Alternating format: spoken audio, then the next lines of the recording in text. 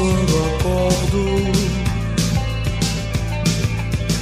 Não tenho mais o tempo que passou, mas tenho